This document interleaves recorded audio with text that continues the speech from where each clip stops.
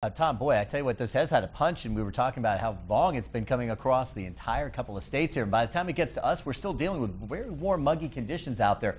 Skies are really darkening very quickly. Our Judy Lykowski is out there in the southern parts of South Bend. We'll have her shot coming up for you in just a moment. But again, we are already looking at some very, very heavy rain moving in towards Grant Road, over towards the St. Joseph Valley Parkway. So again, the bypass, 31 and 20 going to see some very heavy rain. It's really going to drop those visibilities, making it extremely dangerous to be on the roadways as this storm initially hit. So again, very, very strong gusty winds here. Crumpstown Highway right now, heading down to New Road. This is where we're seeing some of the worst weather moving in towards St. Joseph County right now. So metro area, within just a couple of minutes here, we are talking about the gusty winds and also all of that very, very heavy rain that's going to start passing into the region. Again, we've been seeing reports inside the storm here of easily up to 50 to 60 mile per hour winds as that storm has been approaching the metro area. So it's going to start to push in right here along 31, eventually right through the southern part of downtown South Bend. North Liberty already really getting hit very hard with some of those heavy rains and very gusty winds. La Paz also 31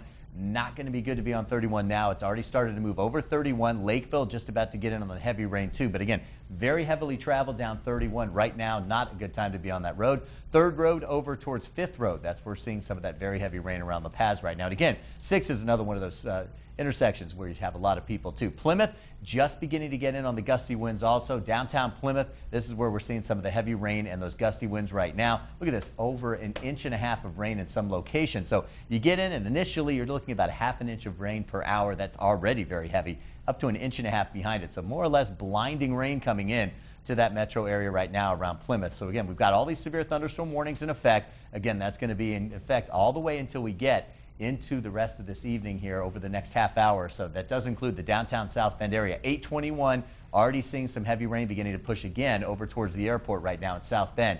823, Roseland, Argos, 824, Wyatt about the same time, into Bremen at 825. So that leading edge, again, moving very quickly.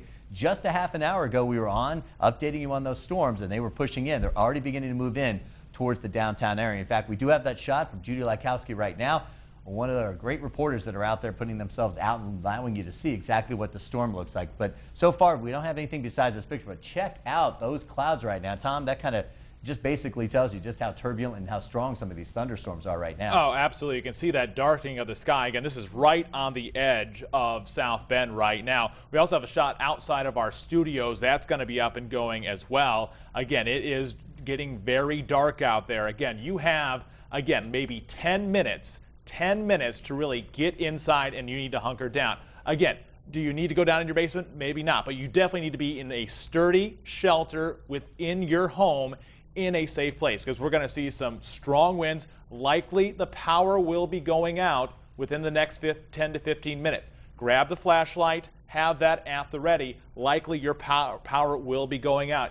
Try and charge your cell phone. Again, charge the cell phone, grab the flashlight, we're up on ABC57.com and our Facebook page as well. We'll have you here even when the lights go out. Yeah, that is a great thing. Make sure, yeah, make sure that's all fully charged and even your phones, things like that. You can always check us out online and on air, of course. And Chief, I just noticed too, if we can, are we able to pull that shot back up that Judy Lykowski had? Uh, I'll go back I, outside, Brian. Here's our live shot. Oh, there you, it is. You noticed, Thomas, you were talking about that shot. All of those lights went out in the parking lot uh, of that shot of Judy Lykowski's. We're also getting power outage reports now from Indiana Michigan Power. LaPorte County reporting yeah, 1,764 people yeah, right just, now. Just check out, power. just check out the trees right there. You can see just how quickly it went from just being very dark to just really blowing out there right now. So. Uh, Oh, we got people out. That's that's the worst thing. You're out on a bicycle. You can get inside people right now is the time. Yeah, and, and you'll light. You know, it doesn't take much lightning. Obviously, any bolt of lightning is dangerous. You got people outside, so it's not only the winds. We're talking about lightning coming down. A lot of people are scrambling to try to get inside right now.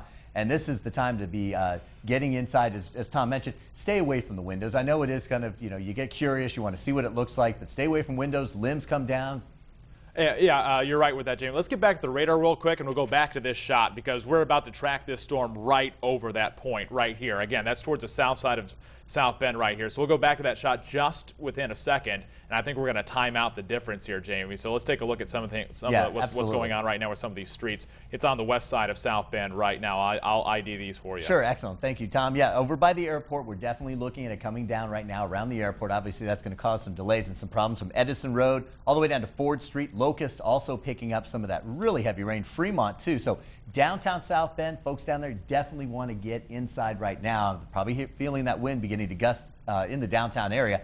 Folks on the west